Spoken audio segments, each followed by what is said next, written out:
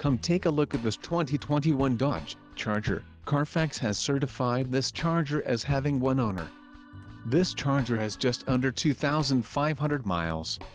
This vehicle has a limited warranty. This vehicle gets an estimated 12 miles per gallon in the city, and an estimated 21 on the highway.